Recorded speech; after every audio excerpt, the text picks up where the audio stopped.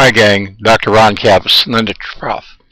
Okay, uh, those of you that have listened to the show uh, uh, heard me talk about branding and the importance of having a consistent brand or name across the social media networks.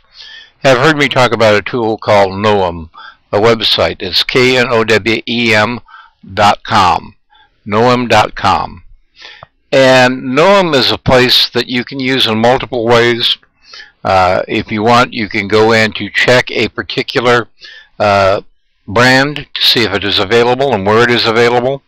Or you can actually do that and then pay them to have them create the profiles for you. Uh, that's not how I use them. I use them merely for detection. So if you have a brand you're considering and you want to check it out, and what you do is you go to knowem.com and you type in in this particular case, let's say you do WordPress and I want to type in, and I already had for this test, I do WordPress. And you want to see if that would be a good name to use and if it's available on other platforms. Obviously, if you install WordPress blogs or do things with WordPress, uh, I do WordPress is not a bad name uh, brand to try to latch onto. So whoever sees this video, uh, I haven't checked availability on domains, but we're going to check right now availability on sites. So we're checking for it now. And the first thing it'll do is it will check the most popular sites. And we come in and we take a look, and it's checking MySpace, Digg, Delicious, Twitter, StumbleUpon, YouTube, Flickr, Squidoo. You can see all of these it's checking, and we already know we're on toward a home run. It is available right now on all of those sites. Now, you also have the ability to go in and check social networks. And when you do that, it's checking for I do WordPress, and it breaks it up for you into categories. Now, the primary categories that I'm interested in will be things like blogging, microblogging, communities, and video. And as we take a look here at blogging, we can see once again it is everywhere available.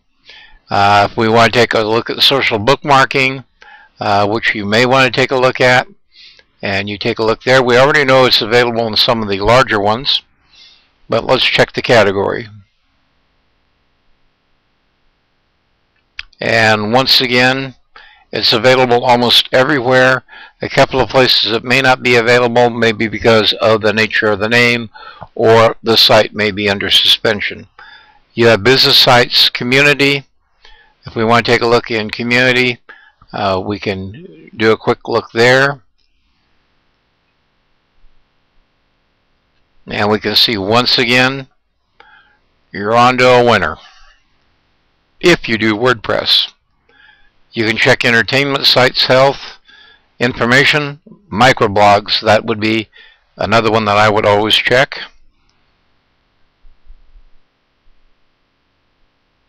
And we are good to go there. And now let's go take a look at photo sites.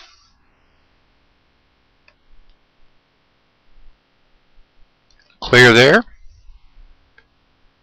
Uh, text sites I'm going to skip, but I am concerned with video. And guess what? You're good to go. So the next time you're considering a brand, you're going to want to come in here and check to see if it is available or not. Uh, and you want to be available virtually everywhere. And then like the Miner 49er from the old Gold Rush, you want to go out and you want to stake a claim to the profiles on the key sites uh, that you want to tap into.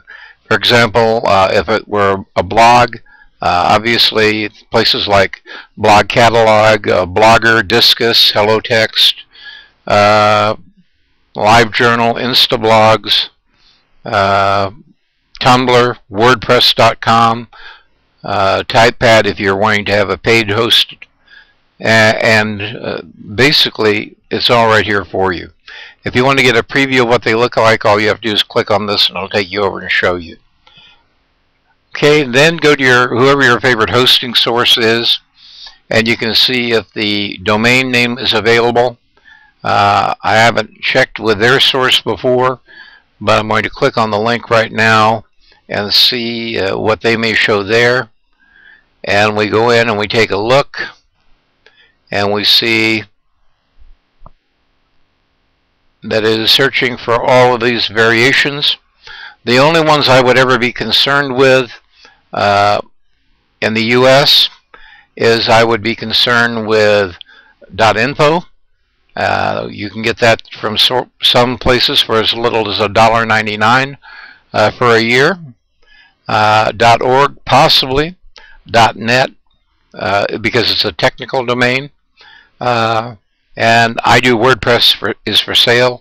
I wouldn't worry about that anyway. In the day of social media, uh, we know that info net and org will draw as well, if not better, than a .com because it's so much in the pointing. Uh, there is no discrimination against .info or .net uh, by the search engines anymore. So I would go to find the uh, one that made the most sense for you with whoever your registrar might be. Okay, that's Dr. Ron Capps.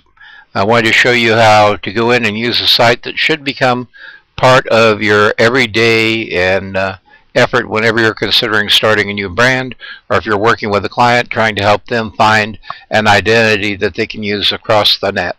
So if you do WordPress, we just did the work for you. Good luck and let me know uh, what you did with the domain. Take care all.